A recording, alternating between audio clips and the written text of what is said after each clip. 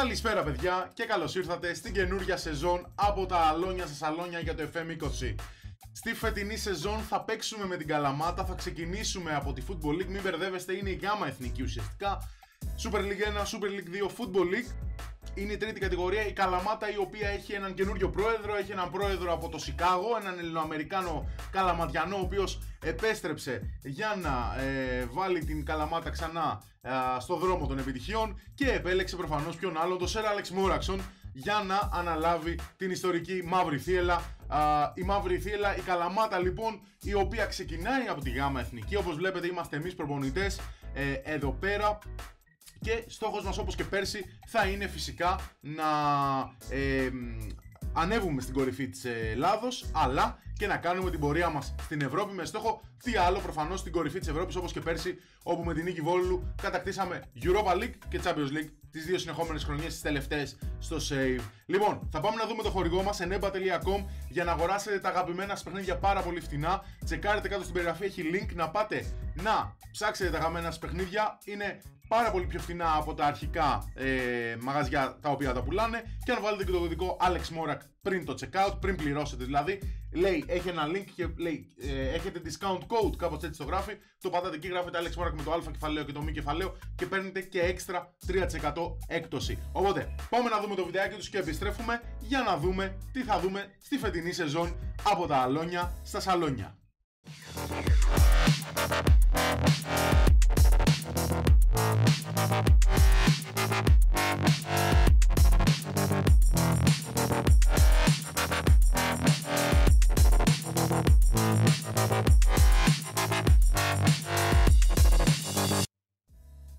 Λοιπόν, και αφού επιστρέψαμε, να πω ότι ε, προετοιμάζεται η επόμενη σειρά στο κανάλι, εκτός από αυτήν εδώ η οποία θα είναι κάθε Δευτέρα και κάθε Παρασκευή στις 2,5 ώρα.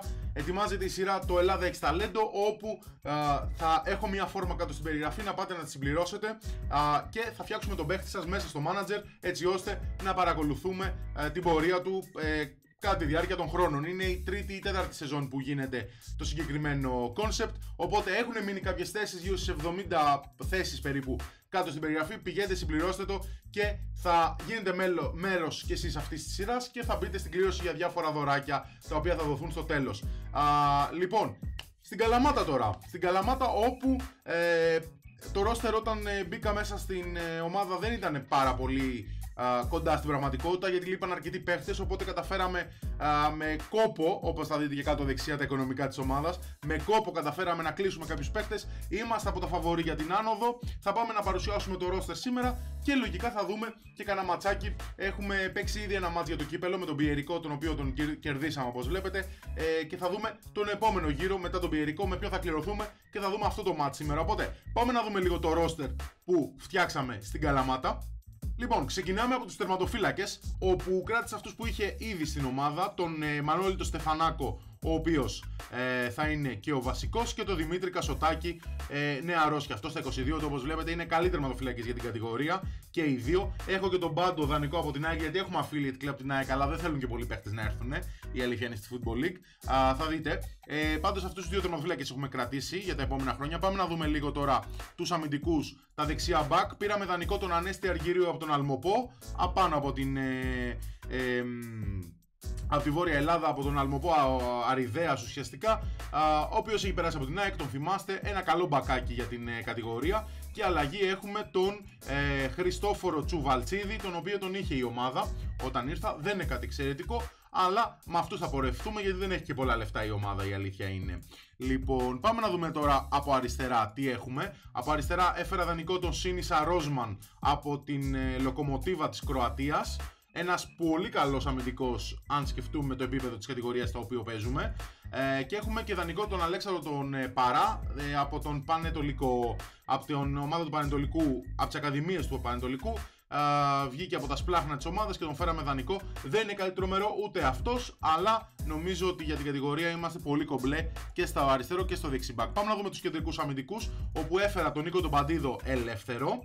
Ε, πριν ήταν στον Καρεσκάκη Άρτας ο Χρήστος Οιτζίδης ήταν στην ομάδα, τον θυμάστε από τον Άρη έχει περάσει, έχει βγει από τις ακαδημίες του ΠΑΟΚ, Πλατανιά, Λεβαδιακό κτλ. κτλ.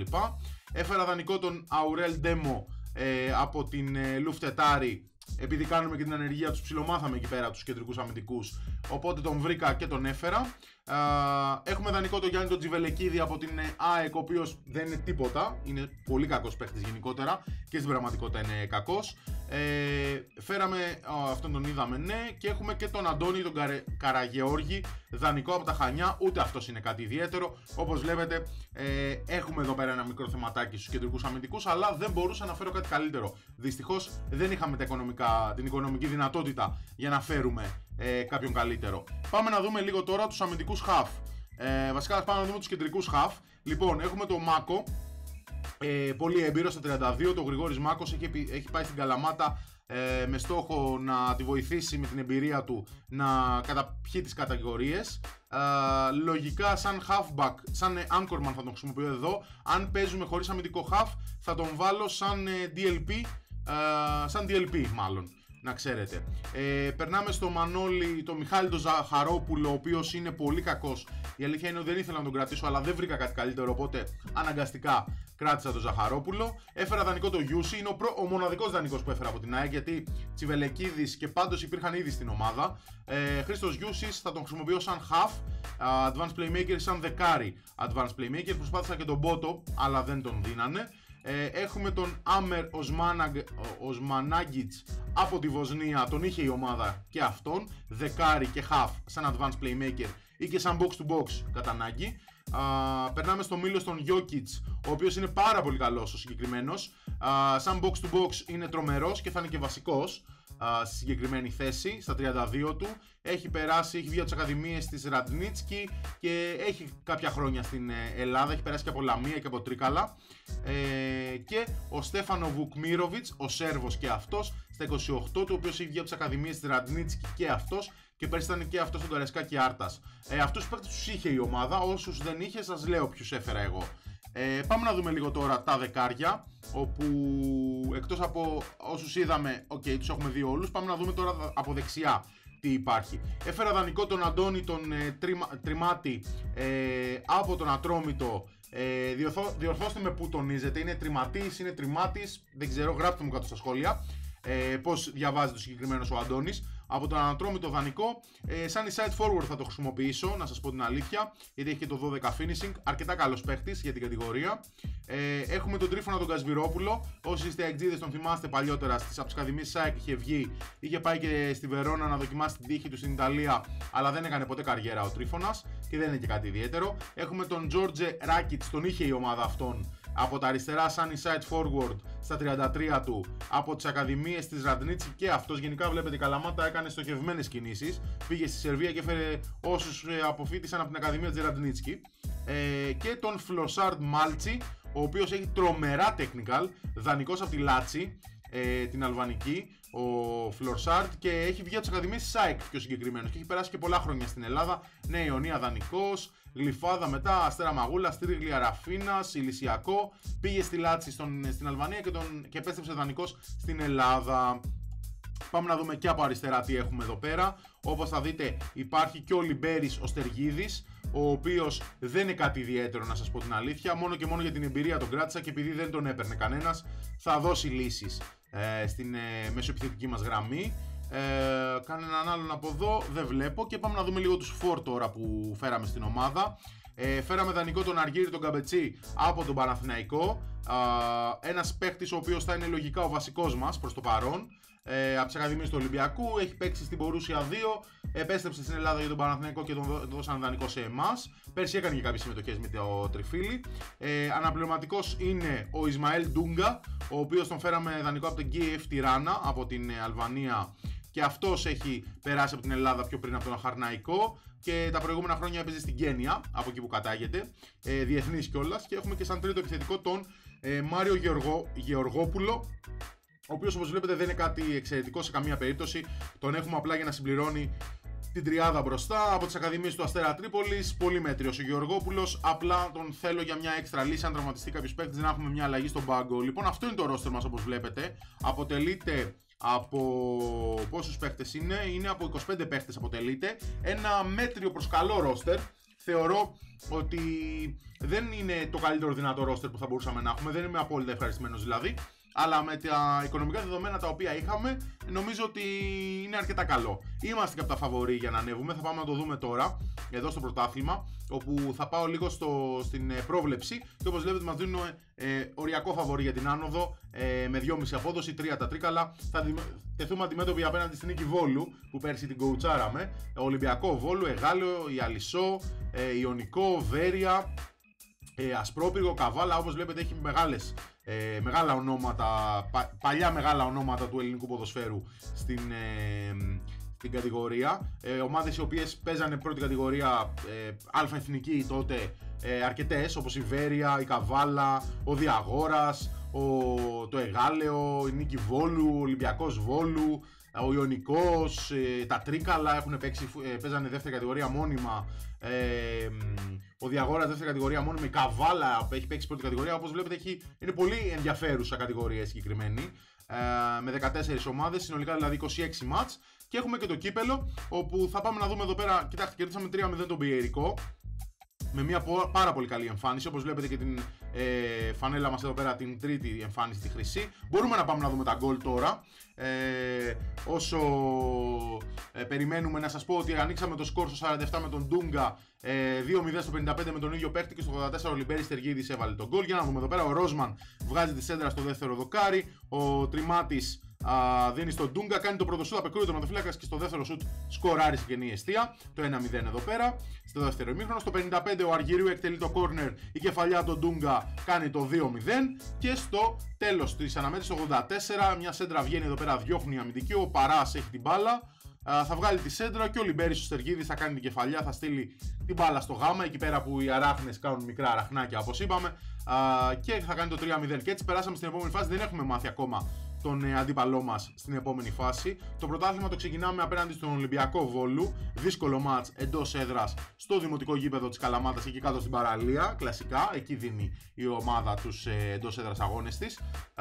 Και γενικότερα μπορούμε να δούμε λίγο και το staff εδώ πέρα. Όπως βλέπετε, έφερα βοηθό προπονητή τον Μύροσλαβ Μαξίμοβιτς, ο οποίος είναι εξαιρετικός και για ομάδα της πρώτης κατηγορίας είναι καλός αυτός.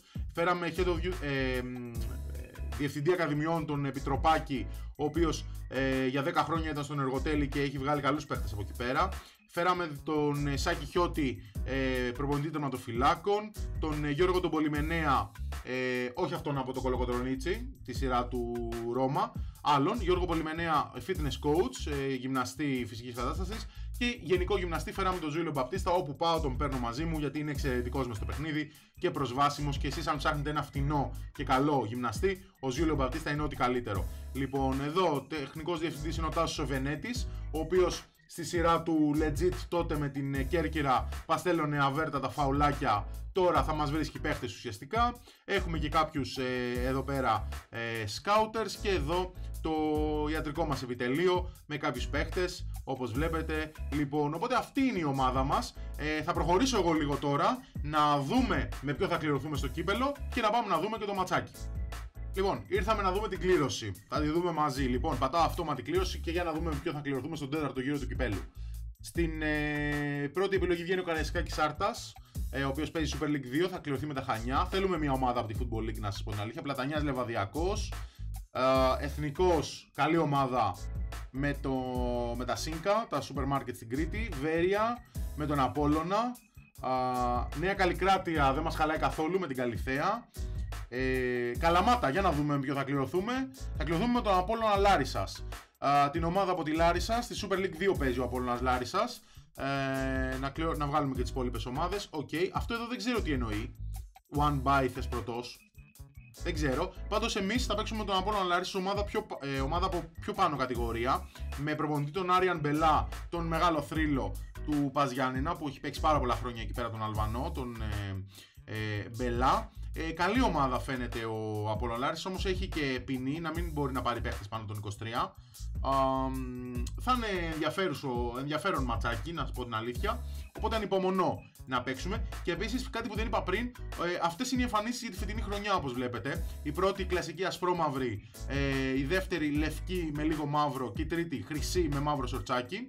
Ε, τις οποίες έχει μεληθεί ο Πέτρος ο Μπάλτας, ε, ε, ο φίλος μας, ο οποίος έχει φτιάξει και πέρυσι τις εμφανίσεις μας και φέτος, παιδιά, έχει πει ότι θα φτιάχνει φανέλες για κάθε χρονιά που θα παίζουμε με την Καλαμάτα. Οπότε θα έχουμε έτσι κάτι πιο, ενδιαφ... Ε, θα έχουμε κάτι πιο ενδιαφέρον φέτος, κάθε χρονιά θα έχουμε και διαφορετικές εμφανίσεις. Όπως βλέπετε, ο χορηγός με πρωτοβουλία του Κριστιανού Ρονάλντο του ίδιου, ο οποίος είχε ενημερωθεί ότι ο Ρονάλντο το είδωλό του ε, κάποτε είχε δοκιμαστεί στην Καλαμάτα, ε, μίλησε με τον Κώστα Ναβαρίνο, το, ίσως ένα από τα καλύτερα ξενοδοχεία του κόσμου, το οποίο βρίσκεται ε, στην Καλαμάτα εκεί στη Βοηδοκυλιά ε, για να μας χορηγήσει στη φανέλα μας και έτσι έχουμε στη φανέλα μας το Κώστα Ναβαρίνο ένα ε, πασίγνωστο και πολύ ακριβό ε, resort το οποίο χορηγεί την προσπάθεια της Μαύρης Θύελας για την άνοδό της ε, στα υψη, στις ψηλές κατηγορίες της, ε, της Ελλάδος αλλά και της Ευρώπης στο μέλλον.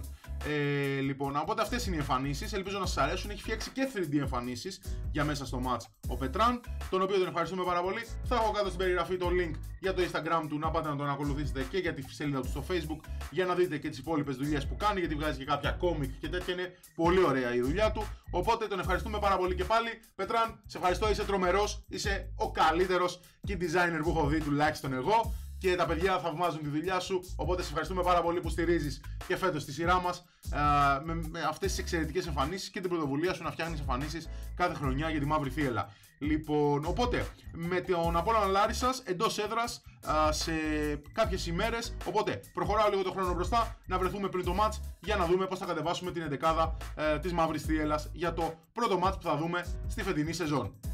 Καλαμάτα Απόλλων Λάρισας λοιπόν για τον ε, τέταρτο γύρο του Κυπέλου Ελλάδος. Μας δίνουν οριακό φαβορή με 2,5 απόδοση, 3 το Χ και 2,63 το διπλό. Ε, ο Απόλλων Λάρισας ο οποίος περίπου τώρα ξεκινάει και αυτό το πρωτάθλημά τους, οπότε είναι χωρίς αγώνες. Όσους αγώνες έχουν παίξει μόνο στο κύπελο. Έχουμε κάποιους ε, τραυματίες η αλήθεια είναι.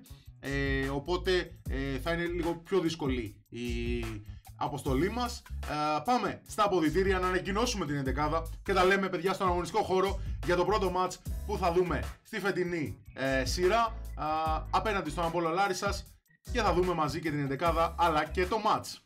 Λοιπόν, η δεκάδα μας. Στεφανάκος στα δοκάρια. Αργυρίου, Ιτζίδης, Παντίδος και Ροσμάν στην άμυνα. Γιώκητς και Μάκος στη μεσαία γραμμή. Στεργίδης δεξιά. Ράκητς αριστερά. Γιούσης πίσω από τον προωθημένο καμπετσί. Για τον Απόλαν Λάρισα, όπως βλέπουμε Γκέκας, Καρίκη, Σουλιώτης, Καρατάσιο Κουρτεσιώτη, Βρετός Κοστούλας Χατζής Ματιάνη, Μπαστακός και Γαριφαλόπουλος. Ε, με μία λιγότερη αλλαγή λόγω του ότι είναι κύπελο και πρέπει α, να κατεβάζουμε κάπα 20 παίχτες. Ε, το match ξεκινάει, να έχουμε μια καλή α, σεζόν στη σειρά μας φέτος ε, και για να δούμε τι θα κάνουμε απέναντι στον ε, Απόλλων Λάρισας για τον τέταρτο γύρο του κυπέλου. Στεφανάκος έχει την μπάλα τώρα. Στεφανάκος θα δώσει στον Ιτζίδη. Ο Ιτζίδης α, ψάχνει με ψηλή παλιά τον κανέναν. Ο Καρατάσιος α, και η μεσαία γραμμή του Απόλλων Λάρισας διώχνουν. Αργυρίου γυρνάει την μπάλα πίσω. Στεφανάκο πήγε να γίνει η ζημιά εκεί πέρα. Ε, Παντίδος. Παντίδος δίνει στο Ροσμάν και κόβεται το highlight, δεν ξέρω τι φάση. Ε, διαιτητής είναι ο, Γραν, ο Γρανάς, ή Γραν, Γράνας νομίζω είναι. Ε, έχει σφυρίξει και αλφα εθνική ο συγκεκριμένος. Ε, λοιπόν, για να δούμε τι θα δούμε. Uh, Κουρτεσιώτης πετάει για τον Μαντιάννη. Ο Μαντιάννη θα, δίνει, θα δώσει το βρετό. Ο Στεφανάκος δεν μπορεί να μαζέψει την μπάλα. Ο Νίκος ο Βρετός κάνει το 0-1 για τον Απόλυν Λάρισας. Ο οποίος η αλήθεια είναι δεν είχε ξαναπηλήσει στο ματ. Αλλά στην πρώτη του έτσι μεγάλη ευκαιρία με πολύ ωραία σέντρα του Μαντιάννη. Στο δεύτερο δοκάρι δεν το μάρκαρε κανένας. Και η απόκρουση του Στεφανάκου είναι πολύ κακή η τοποθέτησή του εκεί πέρα. Το 1-0 για τον Απόλυν Λάρισα είναι γεγονός. Βρετός στο φάουλ. Για να δούμε, γεμίζει την μπάλα. Ο Σουλιώτη θα κάνει την κεφαλιά, η μπάλα θα φύγει πάνω από τα δοκάρια. Ε, Ευτυχώς δεν απειλεί με αυτή τη φάση ο Απόλλωνας. Ε, στο δημοτικό γήπεδο Καλαμάτας, εδώ πέρα στην παραλία. Ε, στο 20 έχουμε φτάσει τώρα. Ε, ελπίζω να μην ξεκινήσουμε στραβά τη σειρά ε, στα μάτς που βλέπουμε γιατί ο Γιώργουτζος παραμονεύει. Ε, Γιούσης. Ε, Γιούσης ε, ελέγχει την μπάλα, δεν τη δίνει. Γιούση θα πάει μόνος του, θα κάνει και ένα σουτ το οποίο ήταν τραγικά κακό. Η μπάλα θα φύγει απευθείας out. στο 22 έχουμε φτάσει και συνέχεια από τον Γκέκα, ο οποίος νομίζω είναι τη Ακαδημία του Παναθηναϊκού, αν δεν κάνω λάθος. Ε, Παντίδος, ε, Ρόσμαν, ξανά Παντίδος, ο οποίος πετάει για τον Καμπετσί, διώχνει αμυντική. Ε, Κοστούλας, ε, Χατζής, Μαντιάνη, ο οποίος φαίνεται πολύ ωρεξάτος και δραστήριος. Θα βγάλει τη σέντρα. Δοκάρι για τον Γαριφαλόπουλο. Παραλίγο από όλον Λάρισας να κάνει το 0-2 και να μας βάλει πάρα πολύ δύσκολα. Νομίζω μετά θα ήμασταν με το 1,5 πόδι εκτός ε, συνέχειας του κυπέλου. Είναι μονή αγώνες στο κύπελο εδώ πέρα. Ε, Όπως βλέπω, ο Διαγόρας πα για ένα 0-0. Νέα Καλλικράτεια, Καλυθία 0-1. Μπορούσαμε να είχαμε και πιο εύκολη κλήρωση, η αλήθεια είναι. Θα μπορούσαμε να είχαμε και πιο δύσκολη. Αλλά θα μπορούσαμε. Εντάξει, είναι μια μέτρια κλήρωση για να δοκιμάσουμε και τις δυνάμεις μας ε, απέναντι σε μια καλύτερη ομάδα. Χατζής, Καρατάσιος, ο οποίος είναι αρκετά καλός παίχτης. Στεργίδης, ε, χάνει την μπάλα. Μπαστακός, Μαντιάνη, απέναντι στον ε, Στεφανάκο Δοκάρη. Τρίτο, δεύτερο, συγγνώμη. Δεύτερο δοκάρι για τον Απόλλωνα Λάρισας. Ε, Στεφανάκος δίνει στον Ιτζίδη. Ο Ιτζίδης ε, με ψηλή παλιά δεν μπορεί να βρει τον ε, Καμπετσί. Γιώκητς. Γιώκητς ε, προχωράει μέσα στο γήπεδο. Θα κάνει το σουτ. Το οποίο εντάξει, OK, okay, θα μπορούσε να ήταν και καλύτερο, θα μπορούσε να ήταν και χειρότερο. Πάντως ο Γκέκα μάζεψε αρκετά εύκολα την μπάλα. Στο 40 έχουμε φτάσει, έχουμε κάνει κάποια σουτ. Ε, νομίζω ότι από τον γκολ και μετά είμαστε λίγο καλύτεροι από τον Απόλλωνα Λάρισας. Αλλά το σημαντικό είναι ότι το γκολ, το γκολ ποιος βάζει είναι το θέμα. Ο Καρίκη τώρα θα βγάλει τη σέντρα για τον Μαντιάνη. 2-0 για τον Απόλλωνα Λάρισας. Με τον ε, Αριστότε Μαντιάνη. Ε, 0-2 ο Απόλλωνα Λάρισας νομίζω ότι α, πολύ δύσκολα θα χάσει την πρόκριση. Ε, απέναντί μας ε, είναι καλύτερος ε, όσες φορές έχει χρειαστεί με δύο φάσεις μας έβαλε στα καρέ μας και μας έβαλε τα δύο γκολ που χρειάστηκε για να πάρει το προβάδισμα, το καθαρό αυτό προβάδισμα. Εμείς πάμε στο ημίχρονο με σίγουρα παράπονα να έχω από την ομάδα, να πω την αλήθεια. Ε, ε, δεν παίζουν καθόλου καλά ούτε ο Παντίδος, ούτε ο Ιτζίδης, ο Ρόσμαν δεν παίζει καλά, ο Μάκος επίσης δεν παίζει καλά, θα τον κάνω αλλαγή. Θα βάλω τον ε, Οσμαν εκεί πέρα και στη θέση του Στεργίδη από τα δεξιά θα βάλω Κασβιρόπουλο. Λοιπόν, θα κάνω αυτές τις δύο αλλαγές στο ημίχρονο, μήπως τους ξυπνήσω, αν και το βλέπω και δύσκολο γενικά. Ε, δεν έχουμε κάνει κακή εμφάνιση πάντως. Έχουμε κάνει και τα σουτάκια μας και τα σουτ στο τέρμα μας έχουμε κάνει. Ε, έχουμε και την κατοχή υπέρ μας. Το θέμα είναι ότι δεν έχουμε αξιοποιήσει αυτή την κατοχή. Η άμυνά μας γενικότερα είναι το μελανό μας σημείο έτσι, αν μπορούμε να το πούμε. Δεν είμαι καθόλου ευχαριστημένος από το πώς παίζουν οι αμυντικοί μας και στα φιλικά, στα οποία χάσαμε αρκετές φορές. Ε, αλλά και στα επίσημα που έχουμε παίξει. Τώρα βέβαια, εντάξει, στο πρώτο επίσημο match δεν ήταν ο απειλητικός ο Πιερικός. Αλλά τώρα, όπως βλέπετε, με την πρώτη σοβαρή ομάδα που παίξαμε, έχουμε θέματα. Ο Γιώκητς πετάει για τον Καμπετσί. Ο Καμπετσί απέναντι στον ε, Γκέκα, ο οποίος δείχνει σε ετοιμότητα και διώχνει σε κόρνερ. Ε, το 0-2 παραμένει για τον Απόλωνα. Για να δούμε το κόρνερ με το Γιούσι.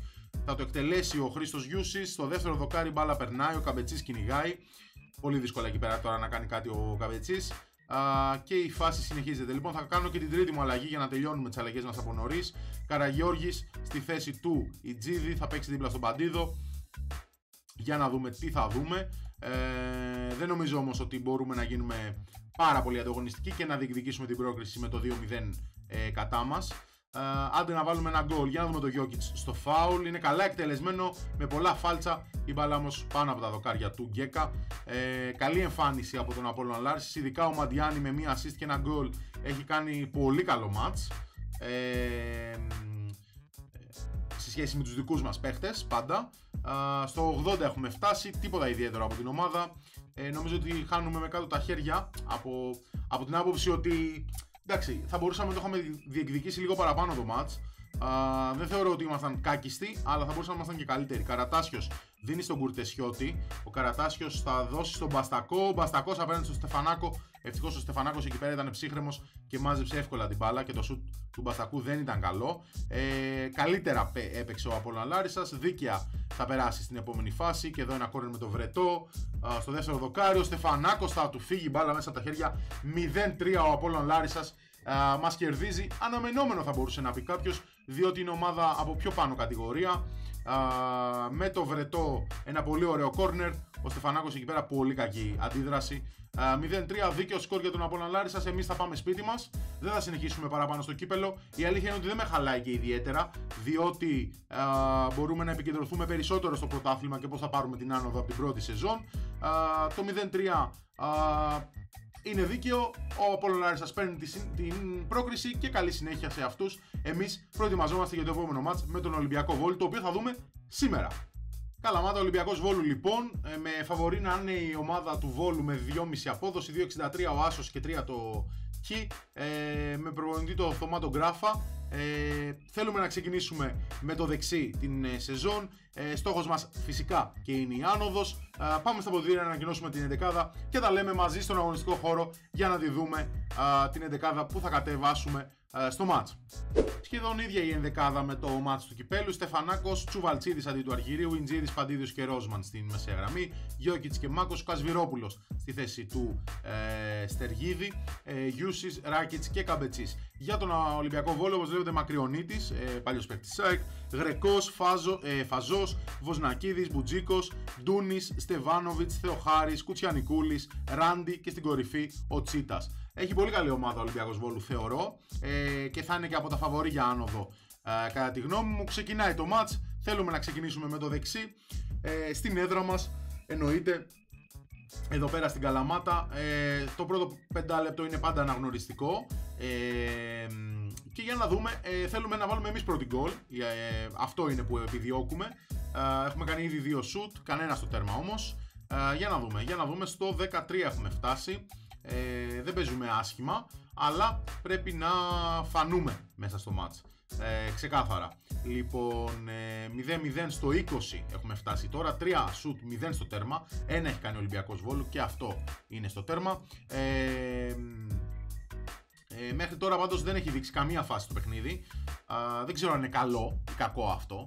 Αν είναι να δείξει φάση του Ολυμπιακού Βόλου είναι καλό. Αν είναι να δείξει φάση δικιά μας μάλλον κακό είναι. Ε, τέσσερα σουτ έχουμε κάνει τώρα, πέντε σουτ χωρίς να είναι κανένα στο τέρμα. Ε, για να δούμε εδώ πέρα το πλάγιο με τον Ρόσμαν. Ε, ο Ράκιτς ε, παίρνει κεφαλιά, ο Γρεκός έχει την παλαφαζός. Πετάει στα πλάγια όπου ο Ρόσμαν φαίνεται να ελέγχει και δεν απειλείται και ιδιαίτερα.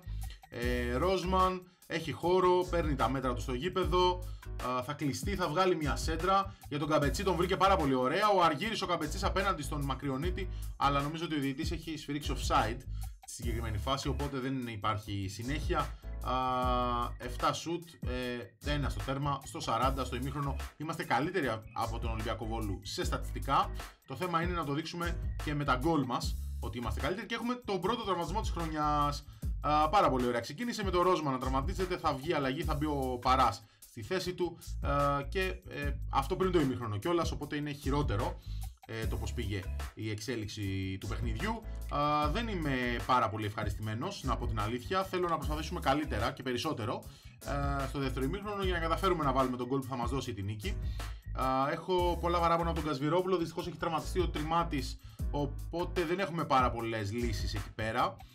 Ε, και ο Καμπετσής δεν παίζει πάρα πολύ καλά. Επίσης ο Γιώκητς δεν παίζει καθόλου καλά, σαν box to box εκεί πέρα, αλλά είναι η θέση που την ξέρει καλύτερα από όλους. Τσουβαλτσίδης, Γιούσης έχει την μπάλα. Γιούσης ε, κλείνεται και κόβεται από το Ράντι ε, και χάνουμε την μπάλα, την πουλάμε πάρα πολύ εύκολα. Ε, Ράντι, πολύ ωραίο το τάκλιν του Μάκου. Ε, τάκλιν εμπειρίας ήταν αυτό και τάκλιν αλήθειας. Ε, κλείνεται όμως ο Μάκος εκεί πέρα. Δίνει στον Ιντζίδη. Ο Ιντζίδη προσπαθεί να βρει κάποιον παίχτη δικό μας. Βρίσκει παίχτη του Ολυμπιακού Βόλου. Ξανακερδίζουμε την μπάλα και την ξανακερδίζει ο Ολυμπιακός Βόλου. Όπως βγαίνει στην κόντρα με τον ε, Ράντι. Απέ, μέσα στην περιοχή τώρα ο Ράντι θα κάνει το σουτ. Πολύ ωραίο. Ο Στεφανάκος διώχνει σε κόρνερ.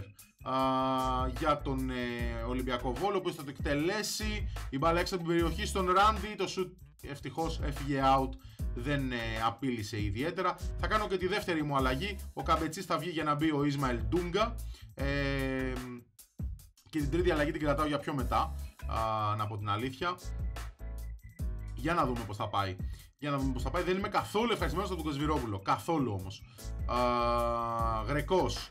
Α, χάνει τη, ο Ντούνης παίρνει ο Γιούσης. Πολύ ωραίο το tackling του Μάκου, έξω την περιοχή ο Μάκος. Θα κάνει το shoot την μπάλα πάνω από τα δοκάρια α, του ε, Μακριονίτη. Και πάμε και για την τρίτη και τελευταία αλλαγή. Θα βγει ο Καζιρόπουλο για να μπει ο Μάλτσι, ο οποίος θα παίξει από τα, αριστε... από τα δεξιά εκεί πέρα σαν winger. Α, σαν winger, να τον βάλω; Ναι. Σαν, σαν winger, άστονα. Σαν winger, δεν μας πειράζει. Ε, στο 65 έχουμε κλείσει τις αλλαγές μας α, με έναν παίκτη ο οποίος είναι σίγουρα καλύτερος από τον, από τον Κασβιρόπουλο. Ο Μάλτσι τώρα εδώ πέρα και κερδίζει το πέναλτι. Κερδίζει το πέναλτι ο Μάλτσι. Ποιος θα το εκτελέσει, θα το εκτελέσει ο Μάλτσι που το κέρδισε; Θα το, θα το εκτελέσει ο Μάλτσι που το κέρδισε. Είναι δίκαιο. Για να δούμε. Θα πάρει φόρα. εκτελεί στο κέντρο 1-0 με τον Φλωρέντ Μάλτσι. Ε, Φλωσάρτ, συγγνώμη, όχι Φλωρέντ. Φλωσάρτ. Ε, μπερδεύτηκα με τον Φλωρέντ Κέρι. Τον θυμάστε πέρσι στην νίκη Βόλου. Το εξτρέμ, τον Αλβανό. Φλωρσάρτ ε, Μάλτσι 1-0. Χρυσή αλλαγή. Κέρδισε το πέναλτι. Το εκτέλεσε και στο 67 ανοίγουμε το σκορ. Πάρα πολύ ωραία. Α, θα απαιτήσω και περισσότερα να συνεχίσουμε να παίζουμε έτσι. Α, αν μπορέσουμε. Αυτό είναι το θέμα, να μπορέσουμε. Μάλτσι στο φάουλ. Εκτελεί. Ο Ιτζίδης χάνει τεράστια ευκαιρία α, από την απόκρουση εκεί πέρα του Μακριονίτη, ο οποίος γιώνει σε κόρνερ. Το οποίο κόρνερ θα το εκτελέσει ο Τσουβαλτσίδης. Πρέπει να φτιάξω λίγο τους εκτελεστές. Δοκάρι! Και η κεφαλιά μετά του Μάλτσι μαζεύει ο Μακριονίτη. Πρέπει να φτιάξω τους εκτελεστές στο κόρνερ γιατί δεν θέλω τα μπάκρι μου να βαράνε τα κόρνερ. Γιατί μένει κενή πίσω η άμυνα και θα έχουμε θέμα μετά. Ο Παντίδος δεν παίζει καθόλου καλά, έχει 6,1. Ο Γιώκητς μετά είναι πολύ κακός με 6,3. Εκεί οι υπόλοιποι είναι περίπου πάνω κάτω ίδια τα πράγματα που κάνουν μέσα στο γήπεδο. Α, για να δούμε, για να δούμε. Φάουλ με τον Μάλτσι σε καλό σημείο. Θα γεμίσει. Διώχνουν οι αμυντικοί. Και τώρα ο Ολυμπιακός Βόλου βγαίνει στην κόντρα. Α, πολύ ωραίο το τάκλιν του Μάκου, ο οποίος είναι με διαφορά ο καλύτερος παίκτης του γήπεδου αυτή τη στιγμή. Ο Παράς έχει την μπάλα από τα αριστερά. Κλείνεται, χάνει πολύ εύκολα την μπάλα κιόλας. Κεφαλιά του Τσίτα για τον Θεοχάρη. Θεοχάρης κρατάει την μπάλα, δεν τον κόβει κανένας. Κόφτε τον βρε. Θεοχάρης συνεχίζει μόνος του. Α, πολύ ωραίο το, το tackling εκεί πέρα του Μάκου. Αλλά παίρνει την μπάλα ο Γρεκός. Μέσα στην περιοχή ο Γρεκός και ο Παράς κάνει πολύ ωραίο ε, τζαρτζάρισμα εκεί πέρα και κόβει την μπάλα. Η σέντρα το διώξιμο δεν ήταν καλό. Μάκος. Μάκος θα πετάξει για τον Ντούγκα, ο οποίος είναι γρήγορος από τα αριστερά και μπαίνει μέσα στην περιοχή. Ο Ντούγκα θα κάνει το σουτ. Αποκρούει ο Μακριονίτη. Δεν ξέρω τι έκανε μετά ο Ντούγκα ε, και γιατί έκανε πάσα στο πέναλτι γιατί δεν υπήρχε παίχτες μας εκεί πέρα. Α, για να δούμε. Στο 87 παράς δίνει στο Ράκιτς. Ε, Κλεισμένος ο Σέρβος. Ράκιτς στον Ντούγκα, ο οποίος από τα αριστερά κινείται. Α, περνάει τον αμυντικό. Θα κάνει το σουτ ο Ντούγκα η μπάλα έξω. Out α, μακριά από τα δοκάρια του Μακριονίτη, ο οποίος θα δώσει συνέχεια και η φάση συνεχίζεται. Μακριονίτης για τον ε, Τσιάρα τώρα να έχει την μπάλα. Το τάκλιν από τον Παρά είναι καλό, αλλά ο Ντούνις βγαίνει σε ε, τέτα τέτ απέναντι στο Στεφανάκο, ο οποίος Στεφανάκος του αρνείται τον γκολ του Μάρκου Ντούνι, ο οποίος έχει περάσει από, ε, από την ΑΕΚ, από τον Άρη. Ε, έχει κάνει καλή καριέρα στην, ε, στην καριέρα του, έχει, έχει περάσει από καλές ομάδες. Μάκος, Μάκος από τα δεξιά, ό,τι μπορεί κάνει και ο Γρηγόρης Εκεί πέρα στο 89 έχουμε φτάσει, πάμε στο 90. Α, μέτρια πράγματα από Γιώκητς, Παντίδο και Ράκητς. και για να δούμε τι θα δούμε. Ε, έχουμε φτάσει στο 94, τελευταίες στιγμές στο μάτς και νομίζω ότι κάπου εδώ το μάτς θα λήξει. Θα πάρουμε την νίκη έστω και δύσκολα. Είδαμε όμως κάποια καλά πράγματα από την ομάδα η οποία θέλει χρόνο. Η αλήθεια είναι πήραμε την νίκη με ένα 0 επί του Ολυμπιακού Βόλου και κάναμε, ε, ξεκινήσαμε τη σεζόν με το δεξί. Αυτό είναι πάντα θετικό, οπότε προχωράμε. Λοιπόν, οπότε είμαστε τέταρτη με μία νίκη στο ένα μάτς. Ε, είδαμε σήμερα το μάτς με τον, ε, ε, με τον Απόλλωνα Λάρης που χάσαμε 3-0 και τη νίκη με τον Ολυμπιακό Βόλου στην πρεμιέρα του πρωταθλήματος με 1-0. Ε, τα μάτς τα οποία εξελίσ, ε, έρχονται μετά όπως βλέπετε είναι αυτά. Ε, οπότε από το Εγάλεο και κάτω θέλω μέχρι εδώ, μέχρι το μάτς με την νίκη Βόλου να μου διαλέξετε δύο μάτς που θέλετε να δείτε. Λογικά η Γάλλο και Νίκη Βόλου θα θέλετε. Αλλά υπάρχουν και άλλα ματσάκια που μπορούμε να δούμε στο επόμενο επεισόδιο. Οπότε γράψτε μου κάτω στα σχόλια ποιο, ε, ποιες δύο από αυτές τις ομάδες εδώ πέρα που είναι με μαύρο σημειωμένες θέλετε να δούμε. Ε, κάπου εδώ το επεισόδιο έφτασε στο τέλος του. Ελπίζω να σας άρεσε, να έχουμε μια καλή σεζόν, να έχουμε μια καλή αρχή. Σας ευχαριστώ πάρα πολύ που παρακολουθήσατε. Αν σας άρεσε, αφήστε ένα like γιατί βοηθάει πάρα πολύ. Τσεκάρετε κάτω στην περιγραφή τα links για τα social media, Instagram και Discord α, για να ενημερώνεστε για τα πάντα που έρχονται στο κανάλι. Στο Discord παρέχουμε και βοήθεια για το manager. Ό,τι χρειαστείτε μπορείτε να το ρωτήσετε, γνώμες κτλ. Σήμερα στις 7 έχουμε stream α, στο Twitch α, με ανεργία και θα δείτε και ποια ομάδα βρήκαμε μετά από την αποχώρησή μας από τη Λούσνια. Οπότε, μέχρι την επόμενη φορά, ήμουν ο Άλεξ Μόρακ και γεια σας από μένα.